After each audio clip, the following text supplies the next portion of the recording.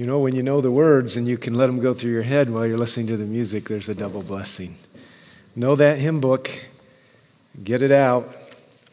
If ever I love thee, my Jesus, tis now. Let's pray. Lord, we give you our hearts and lives again. And may we reflect on your deep love for us. And Lord, may it touch us. May we not just think about it, but may it connect with us, Lord, on the level of our deepest emotions. And while, Lord, we are not to let our feelings rule us or run us, certainly, Lord, you're looking for an affectionate love back to you. Now, bless us as we think about important topics. Guide us and nerve us, I pray. In Jesus' name. Amen. It's wonderful to be with you this morning.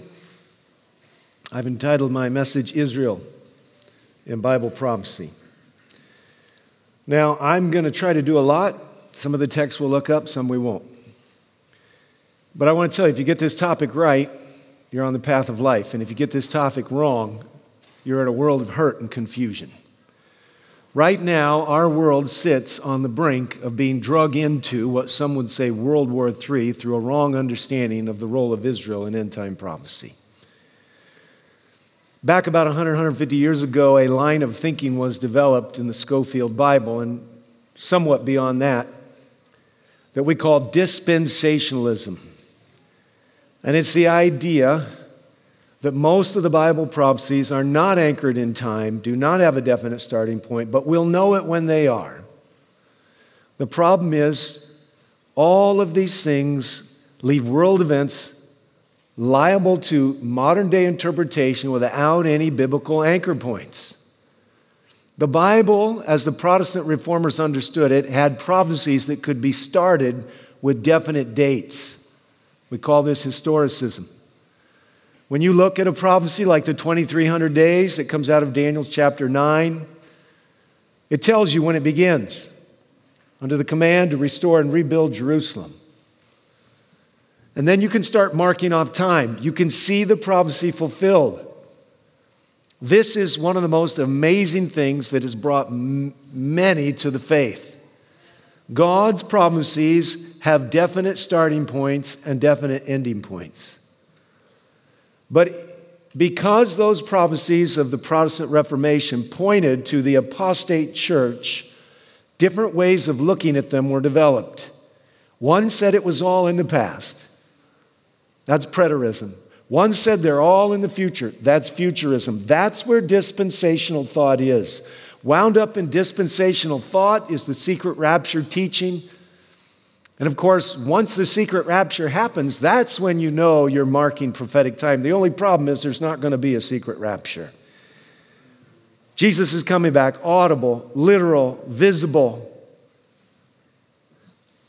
The problem with believing the wrong thing is that you're lulled into a lifestyle and decisions that rob you of readiness to meet Jesus. The other problem with believing the wrong thing, like somehow modern Israel, that is the geopolitical Israel, has a special place in Bible prophecy, is that it puts the world on the edge of military brinkmanship over false alliances built on the wrong idea that America is here to take care of Israel in the future. It's absolutely imperative that we understand the role of Israel in the past and in the present and in the future. That we know who Israel is. Because if we get this wrong, it's very likely that we will get many other things wrong. So this morning, I want to do something. I want to take you on a journey. I want you to think these things through. I'm going to show you from the Bible that Israel was a representative form of God's family for a period of time, which it forfeited when it rejected Jesus Christ. And that the new Israel is a continuation of the family of God fulfilling its firstborn responsibilities of letting the world know that they can all be children of God. Israel, for a moment in time, a long moment, was the firstborn of God's family members. And as a firstborn family member, its duty was to let the rest of the world know it could redeem, if it so desired, through the Redeemer, its rightful place in the family of God. Take your Bibles right now and open them back up to the book of Revelation. I'm going to start in the back of the Bible. Of course, this is where we have the fulfillment of the prophecies, and I want, I want to make a point. Go to Revelation chapter 21. I'm going to start with some of the last references to Israel, his family. And by the way, Israel is a name that comes from Jacob's night of wrestling. Revelation chapter 21. I want to make this simple. When you walk out of here today, I want you to be able to explain what it is to be a spiritual Israelite, to be an Israelite in the family of God. Revelation chapter 21, beginning with verse 10. If you have a subtitle in your Bible, says the New Jerusalem. And he carried me away in the Spirit to a great and high mountain, and he showed me the holy city, the Jerusalem, coming down out of heaven from God. All right? Paul will make a big difference between the old Jerusalem and the new Jerusalem. This is not the old Jerusalem transported to heaven. No, the old Jerusalem is where they crucified Jesus. It will never have a place in the eternal accolades of heaven. This is the new Jerusalem. Having the glory of God, her brilliance was like a very costly stone, as a stone of crystal, crystal clear jasper. It had a great high wall with 12 gates, and all the gates, 12 of them, had the names written on them, which were the names of the 12 tribes of the sons of Israel. There were three gates on the east, three gates on the north, three gates on the south, and three gates on the west. Now, let me ask you something. 12 gates, three on each side. They all have the names of the tribes of Israel. Does that mean this city is only for Israelites? It's a trick question. you just keep thinking about that. Let's go a little farther. Verse 15. Well, actually, verse 14. And the wall of the city had 12 foundation stones, and on them were 12 names of the 12 apostles of the Lamb. Let me ask you something.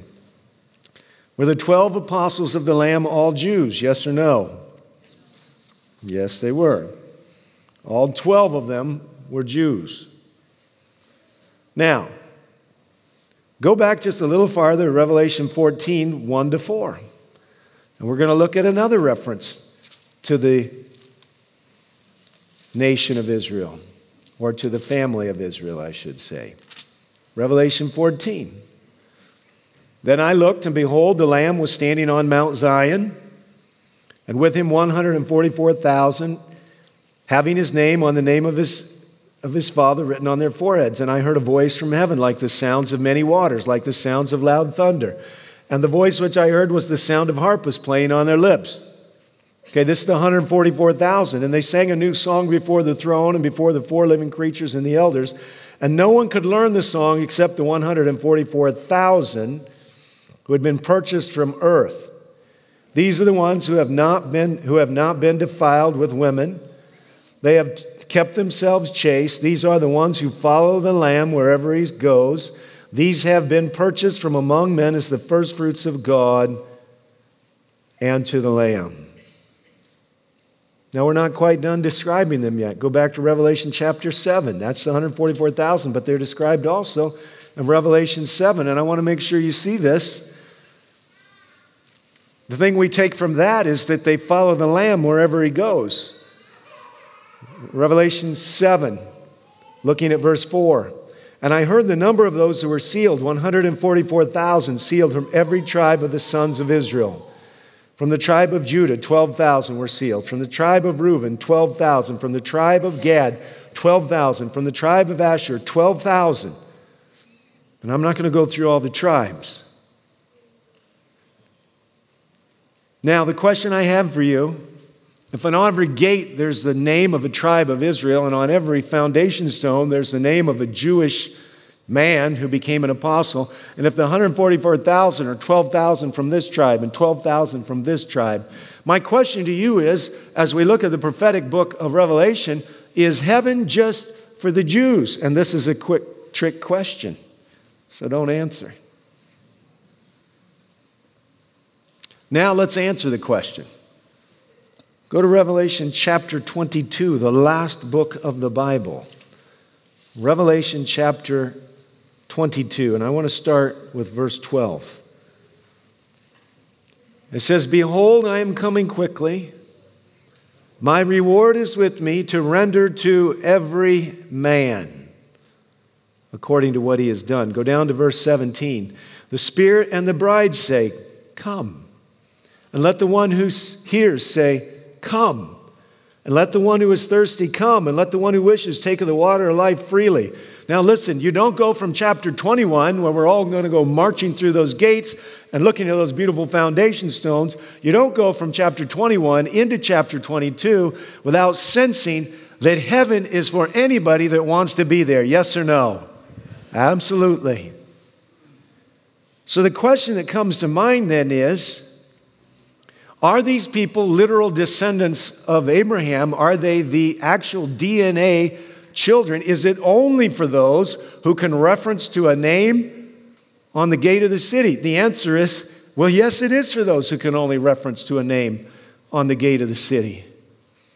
But now let's go back to the beginning of the Bible. Go back, if you would, to the very first book, Genesis. Genesis chapter 1. Genesis chapter 1, looking at verses 27 and 28. It says, God created man in his own image. In the image of God, he created him, male and female, he created him. God blessed them, and God said to them, Be fruitful and multiply, and fill the earth and subdue it, and over the, rule over the fish of the sea, and over the birds of the sky, and over every living thing that moves on the earth. Would it be safe to say that Adam and Eve were the children of God? Yes or no? Okay. Would it be safe to say that God's goal, when He cursed the snake and He cursed the ground and He cursed the birthing of babies for the sake of mankind, that it was His goal to give His family back what they lost by eating from the tree of life? Yes. All right, we're starting to get somewhere. Now go over to Genesis chapter 12. God has always had a people. Genesis chapter 12. We've gone through a large portion of earthly history here, close to 2,000 years. By the time we get to Genesis 12, it says in verse 1 Now the Lord said to Abram, Go forth from your country and from your relatives and from your father's house to the land which I will show you. And I will make you a great nation, and I will bless you and make your name great you shall be a blessing. And I will bless those who bless you, and the one who curses you, I will curse. And in you, all the families of the earth will be blessed. How were all the families of the earth to be blessed through Abraham? Isn't the main part of the story about a man and a woman who can't have a baby? But is it not a fulfillment of that promise that through the seed of the woman there would come a deliverer? You see, there is a special promise here to every person who has ever lived post the promise that somehow God's going to do something that relates to that initial promise to give us back what we frittered away in the garden. Now, when we look at the New Testament teaching, we find that God said that He would bless the world through the seed of Abraham. Paul goes out of his way to make sure you know that's singular, not plural. It doesn't say through the seeds of Abraham. If it said through the seeds of Abraham, we'd be dealing with geopolitical Israel.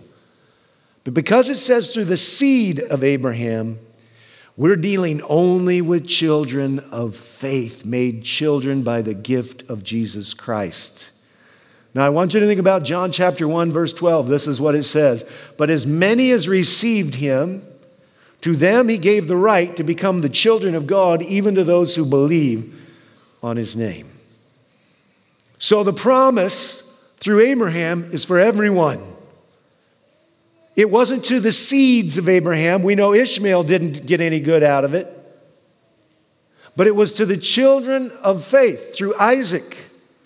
And there's still not a Jew on the scene yet because we don't have the first Israelite until Isaac has a son, the second born, whose name is Jacob, who wrestles through the night and is transformed and he becomes Israel, one who wrestles with God and overcomes.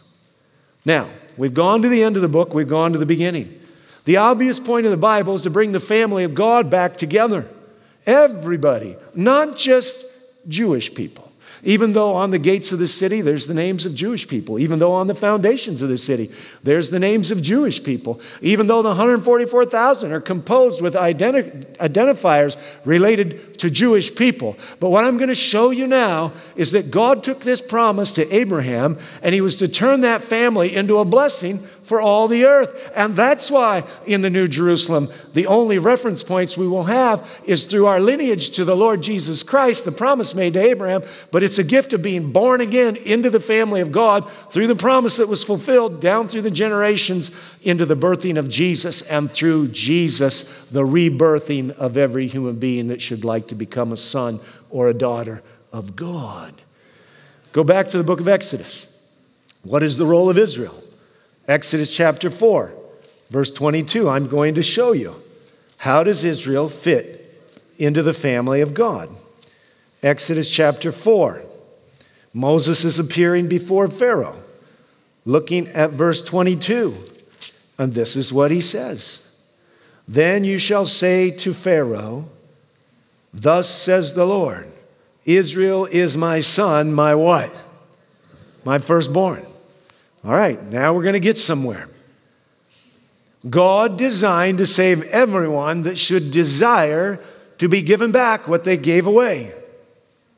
But in the economy of God, in the structure of God, He's working through a family model. And by the way, the church is not a business. Don't ever try to run it as a business or you'll ruin it. And modern Protestantism has done that, and they've ruined it. But Seventh day Adventism, by and large, has not taken the bait although they've been tempted in a lot of places, including youth ministry. Israel is my firstborn. Now turn over to Genesis chapter 46, verse 8. I want to look at who the firstborn of Israel were. Genesis chapter 46, verse 8. Who was the firstborn of Israel? Some of you know. If you know, go ahead and call it out. Who was the firstborn of Israel? Reuben was, all right? Genesis chapter 46, verse 8. Genesis chapter 46, verse 8. We'll read it. It says, Now these are the names of the sons of Israel, Jacob and his sons. And what the Bible just did there is it repeated. Israel was the name of Jacob after he wrestled with God. But the Bible will often give more than one name to the players. And it just turns out that Jacob and Israel are the same person. His sons who went into Egypt, Reuben, Jacob's firstborn. Now, here's the key question considering the scenario I've set up. Can you lose your place as the firstborn in the family of God? Yes or no? Absolutely. Go over, if you would, 1 Chronicles chapter 5, verse 1. 1 Chronicles chapter 5, looking at verse 1. And this is going to explain what happened to Israel when they rejected Jesus. 1 Chronicles chapter 5, looking at verse 1. The lineage of Jesus was not through the experience of Reuben. It says in 1 Chronicles 5:1, now the sons of Reuben, the firstborn of Israel, and then in parentheses it says, for he was the firstborn, but because he defiled his father's bed, his birthright was given to the sons of Joseph, the sons of Israel, so that he is not enrolled in the genealogy according to the birthright. In other words, if you're the birthright son, you get two portions of the inheritance. If there's 12 kids, the inheritance is divided 13 ways. The firstborn gets two portions. There's a reason because the firstborn is freighted with the responsibility of taking the inheritance. In the case of the Seventh day Adventist Church, who is now fulfilling the biblical remnant definition, they keep the commandments of God and they have the testimony of Jesus. The firstborn is the pro he is the procurer and the steward of the inheritance of the family. And the inheritance of the family, in the case of our religious ancestry, is the knowledge of the living story of Jesus Christ, born a man, died in our place, active mediator in the heavenly sanctuary, and judge. And so the firstborn has a responsibility to keep the family story alive, to shepherd the family experience to its glorious conclusion. This was the responsibility and privilege of Israel. The truth of the matter is, it can be sacrificed, it can be given away, it can be taken away. Now, I want you to think about the elder brother in the story of the prodigal son. The younger son says, Dad, I don't care if you're dead or alive, I just want what I want, and I'm out of here. But the question I have for you is this Did the elder brother, who was the birthright son, did he value and understand and appreciate the privileges of knowing his father and taking care of the family name and the culmination of the glory of being in that position? Yes or no? No. And so I want, I want to build a little mindset here. You can have your names written on the Seventh day Adventist Church's books, but if you don't understand that it's the role of the remnant, it's the role of the spiritual firstborn to actually shepherd the stewardship of the inheritance, in this case, the message. If you have no interest in advancing the message, you just love this wonderful Adventist culture with haystacks and, and Vespers and Sabbath school, and none of those are bad, by the way. But if you don't understand that you get two portions of the blessing for your nearness to God and the privilege of the responsibility of telling who He really is and making sure everybody knows, you can end up like the firstborn in Luke 15, or you can end up like the nation of Israel that rejected its Redeemer, took the life of the Father by taking the life of the Son. This is serious business. And I want you to know that writing years ago, Ellen White would tell us that the church will look as if it may fall. But, if, but it only looks as if it falls. And I want to assure you, friends, though the structures and the institutions may go away, the church will remain. For God is never going to be in a moment where He doesn't have a family witness on the face of the earth. And this is good news. And the glorious good news is if you choose to believe and receive Him, you get to be a child of God, and it's better than that. If you'll let Him rebuke you and chasten and discipline you, as only legitimate children can be, you will receive a new name. You will sit down in his throne. You will be his ambassadors throughout eternity. You will receive a more glorious inheritance and be nearer to God than anybody would have ever been had there been no sin. Now, you need to understand that in the Old Testament there are myriads of conditional promises. Take your Bibles and go to the book of Jeremiah. Jeremiah chapter 18. And I want to look at verses 7 to 10. Go past the Psalms and the Proverbs and come to one of these major prophets we call Jeremiah chapter 18. Now, there are many in the modern dispensational way of thinking that do not understand the nature of the conditional promises. Now, I'm here to tell you the devil has a vested interest in keeping the world's attention focused on Old Testament Israel because then he can make the Sabbath only for them. And then he can cloud the glory of the second coming of Jesus because if you keep your mind focused on Old Testament Israel and it's got to get a place back, you come with this aberrant, theolo- uh, aberrant theology I mean, when you look at Daniel chapter 9, when it says 70 weeks are determined for your people, that's the beginning of the most amazing Bible prophecy in all the world 2,300 symbolic days, or over two millennia of prophecy. And the first 490 years, 70 weeks, 70 times 7, is set aside for the people of Israel. And the truth of the matter is, you come down to that 70th week, and it's either about Christ or the Antichrist. You have to decide. But I can assure you the Bible is very clear. It says, until Messiah the Prince come. And then in the middle of that last week, he's cut off. But dispensationalism, with its focus on the future and its resistance to the truths of the Bible, in other words, every Christian is a spiritual descendant of Jesus, which makes them a spiritual descendant of Abraham, which makes them a spiritual Hebrew or a spiritual Jew. But the problem with being a spiritual Jew is that you're freighted with all of these, all of these limitations chief of which is the fourth commandment.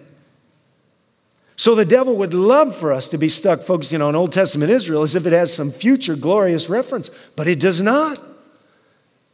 Now, let's read here out of Jeremiah chapter 18 about the conditional nature of what God prophesies. Jeremiah chapter 18, looking at verse 7. He says, At one moment I might speak concerning a nation or concerning a kingdom to uproot, to pull down, or destroy it. That nation could be Israel. If that nation against which I have spoken turns from its evil, I will relent concerning the calamity I plan to bring on it. Or at another moment, I might speak concerning a nation or concerning a kingdom to build it up or plant it. But if it does evil in my sight by not obeying my voice, then I will think better of the good with which I had promised to bless it. And here you have portrayed, especially considering that in the last part of the book of Deuteronomy, which is the second giving of the law, it is the Deuteronomos, that there are three chapters dedicated to blessings and curses. And so God lays out clearly before he turns the leadership over to, J- jo- uh, over to Joshua, he le- le- leaves clearly a message about how this relationship with him is going to work. And unfortunately, throughout the Old Testament, Israel plays the harlot. And the curses are brought down on, and there is an exile of which Jeremiah was a prophet. And even though Nebuchadnezzar came three times, the people still didn't listen. And finally, after 70 years, at the end of those 70 years, Daniel is given a vision in Daniel chapter 8. It's explained in Daniel chapter 9, and that's where we get that amazing 2,300 year prophecy. And 70 weeks or 490 years, they're, they're especially focused on Israel. And the culmination of that Israeli part of the prophecy is that Jesus himself will come. Won't be Moses, won't be Abraham, it'll be God himself. Jesus comes. The result of Jesus coming is told in our scripture reading. Let's go back there to Matthew chapter 21. Matthew chapter 21. And I want you to look at this very carefully because there can be no equivocating about the meaning of Matthew chapter 21. Matthew chapter 21. Listen, verse 33. There was a landowner who planted a vineyard and put a wall around it and dug a wine press in it and built a tower and rented it out to vine growers and went on a journey. If you want to know where that imagery comes from, go to the book of Isaiah, chapter 5. We're not going to go there right now. This is nothing short of Jesus taking a metaphor distinctly from the prophets, this one, Isaiah, in which he makes it clear that his people are like a vineyard. Anybody listening to this from the Jewish historical point of view knows this. When the harvest time approached, he sent his slaves to the vine growers to receive his produce. The vine growers took his slaves and beat one and killed another and stoned a third. It's a reference to his prophets. He sent another group of slaves larger than the first, and they did the same thing to them. But afterward, he sent his son to them. Now, of course, this is Jesus telling the parable. It's in living technicolor. Jesus is there telling the experience of salvation history of God trying to redeem the Jewish people, saying, They will respect my son. But when the vine growers saw the son, they said among themselves, This is the heir, come let us kill him and seize his inheritance. They took him and threw him out of the vineyard and killed him. Therefore, when the owner of the vineyard comes, what will he do to those vine growers? And they said to him, He'll bring those wretches to a wretched end. And he will rent out the vineyard to another set of vine growers who will pay him the proper proceeds at the proper season. Then Jesus said to them, Here he comes, bullseye. It's going to shot right to the heart. Did you never read in the scriptures the stone which the builders rejected has become the chief cornerstone? This came about from the Lord, and it's marvelous in our eyes. And here comes the indisputable statement. Therefore, I say to you, the kingdom of God will be taken away from you and given to a people producing the fruit. But it's not over. Praise the Lord. He doesn't leave them there. He gives them hope. And he says, Whoever falls on this stone will be broken to pieces, but on whomever it falls, it will scatter him like dust. Now, in Romans chapter 11, which we won't look up, but you can look up later on today, you'll see that Paul uses the metaphor of a tree for the family of God. And of course, we have our own family trees, don't we? The problem is, Paul says, is that there were a lot of branches broken off this tree because Israel rejected Jesus. And then there were new branches grafted in, which represented the rest of God's family, the Gentile church. What I want you to see is even though Jesus says, Your role as my firstborn is about over, you can still be in my family. And if you don't understand the role of the firstborn, which is Israel's role, then you can't bring together these powerful but painful truths. While they will lose their place as the firstborn with the privilege of stewarding the message of salvation, they will retain the privilege of being in the family of God if they will fall on the rock. Now, if you don't understand these things, and you think that somehow all the promises of Israel must be fulfilled in literal geopolitical Israel, then you, like our American politicians, especially the right leaning religious side of the aisle, believes that no matter what, they have to stand with Israel because Israel is going to be reestablished, the temple is going to be rebuilt, and its former glory, which it could have had, is coming back. That, my friends, is not taught in the scriptures. They sacrificed their privilege of becoming the diadem, the city set on the hill, and instead they became the cursed place of the earth. And that curse that they brought down on themselves, the spirit of prophecy, will affirm still rest in that place. No wonder there is so much hatred. Hatred. When we begin to look at the experience of Israel, what we begin to realize is that they were given a special place to carry the family name of God. Now, let's just do something really simple here. The Bible says, For God so loved the world that what? Whosoever. All right? Whosoever believeth in him might not perish. When we think about this, we realize that in Galatians it says there's neither Jew nor Gentile, neither slave nor free, male or female, you're all one in Christ Jesus. And if you be in Christ then, or Abraham's seed, then you're heirs according to the promise. But let's go to Romans chapter 2. I don't want to leave us without looking clearly at another statement. Not only did Jesus walk out of the temple on a Wednesday, on the last week of his pre crucifixion life, and say, Your house. He didn't say, My father's house. He had referred to it as his father's house many times in his ministry. But when he walks out on the Wednesday before he's crucified, he says, Your house is left unto you desolate. Jesus wept great tears because he could look into the future and see what the rejection of God's special relationship with the Jews would cause them. In their pride and their stubbornness and their arrogance and their supposed supremacy among the face of the earth, they fought and fought and fought until they finally brought destruction down on themselves. Romans chapter 2, looking at verse 28. I want you to see Paul makes it exceptionally clear. Romans 2, verse 28. It says, For he is not a Jew who is one outwardly, nor is circumcision that which is outward in the flesh. In other words, when Abraham was circumcised, it was a sign that there would be a baby, even though he would wait for 25 years.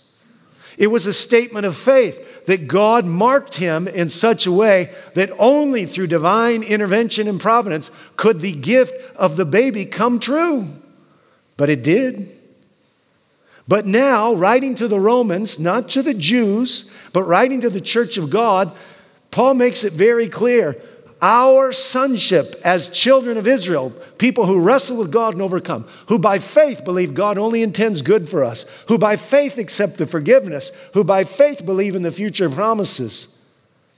He is not a Jew who is one outwardly, nor is circumcision that which is outward in the flesh, but he is a Jew who is one inwardly, and circumcision is that which is of the heart by the Spirit, and not by the letter, and by the praise that is not from men but from God. The real, absolute, indisputable point of the New Testament teachings of the apostle was that we retain our Jewishness in the sense that we enter into the experience of the first Jew mentioned in Genesis chapter 32, whose name was Jacob, liar, deceiver, supplanter. And by wrestling with God, coming to grips with the honesty of our human estate and the amazing mercy of God not to destroy us as we latch on to Him, as He touched Jacob's thigh, the strongest joint in the whole body, and displaced it with just a touch, Jacob understood that God had every right and ability to destroy him, but he was a merciful God, and he had come to speak hope, peace, and strength as he met Esau. And Jacob would not let him go, but God did ask him to confess what he was. What is your name? My name is Jacob. My name is Liar. And Jesus said to him, wrestling with that night, Not anymore. There's nobody listening to me here today who can hide behind Seventh day Adventism. That's what one of those people said to me in South Africa last week. They said, You know, Seventh day Adventism gives you a lot to hide behind. I don't do this and I don't do that, or at least I don't get caught doing it.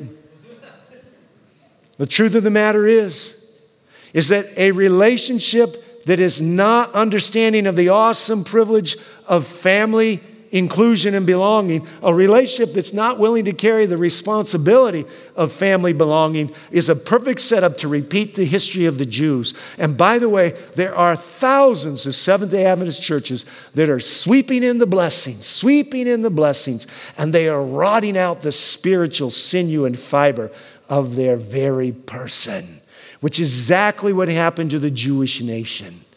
Those blessings that came to them, that amazing giftedness, was to enable them to have the resources that matched up with the desire to carry out the responsibility of the firstborn, which is to tell the glory of the Father's good news plan that everybody can belong. My house, the book of Isaiah says, shall be called a house of prayer for who? All people. There was never any design for any exclusivity in the dynamics of Judaism. Judaism was a privileged connection to Christ so that the message could be told and the blessings could be experienced as they were given away.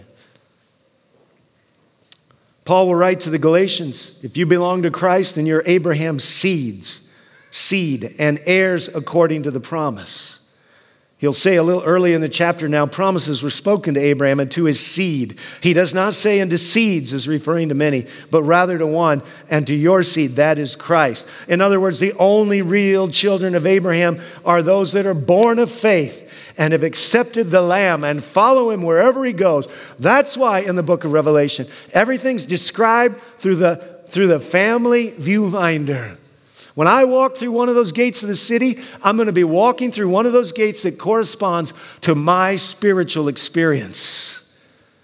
I can be, you can be one of those 144,000, which is obviously a symbolic number.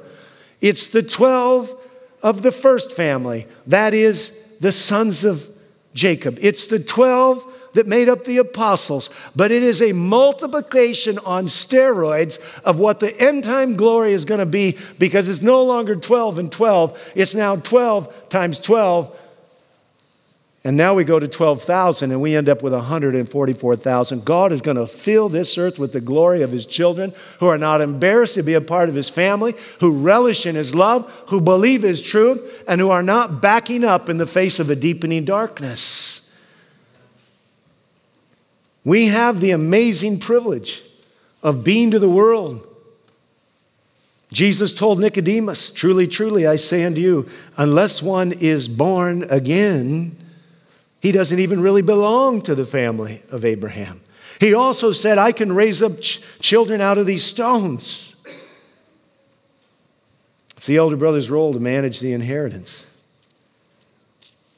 But they get a double blessing for doing it. You know, friends, Paul would say to us, writing to the book of Hebrews, but you have come to Mount Zion and to the city of the living God, the heavenly Jerusalem, and to myriads of angels, to the general assembly of the church of the firstborn. You hear that phrase? That's who God's remnant are. They are part of the general assembly of the church of the firstborn. Do you understand something? That throughout all time and eternity, every single person who has named the name of Jesus Christ will belong to the General Assembly of the Church of the Firstborn. Do you understand that throughout all eternity, the multiple myriad double blessing gift of being the ones who stewarded this amazing message about the character of God, that message is a message that we carry through eternity in our special privileged role as princes and princesses of God. This is an amazing storyline. But I'm going to end with a little challenge. When I think about what Ellen White wrote about the church, she said there are There are many who look like they're in, but they're not. Chaff like a cloud will be borne away on the wind, even from the places where we see only floors of rich wheat. The shaking, she writes, of God blows away multitudes like dry leaves. Soon God's people will be tested by fiery trials, and a great proportion of those who now appear to be genuine and true will prove to be base metal. When the religion of Christ is most held in contempt, when his law is the most despised, when, then should our zeal be the warmest and our courage and, and the firmest and the most unflinching. To stand in defense of truth and righteousness when the majority forsake us, to fight the battles of the Lord when champions are few, this will be our test. Do you think he's leaving the test until the very end? No, no, no. You don't want to stand up for your family values, your spiritual family values, family values passed down to you by your parents? No, you want to turn around and call them legalistic and you want a new liberty to indulge in sin while you take the name of Jesus. Doesn't work that way. Doesn't work that way. At this time, we must gather warmth from coldness, courage from cowardice, and loyalty from other people's treason. The church may appear as about to fall, but it does not fall. It remains while the sinners in Zion are sifted out, the chaff separated from the precious wheat. This is a terrible ordeal. One more paragraph. As the storm approaches, a large class who have professed faith in the third angel's message but have not been sanctified through obedience to truth abandon their position. And if that was all she said, it'd be bad enough, but she goes on to write and join the ranks of the opposition. You know what walked Israel right out of the kingdom, right out of the family? You know why the conditions the promises were sacrificed? You know why they're no longer a special people?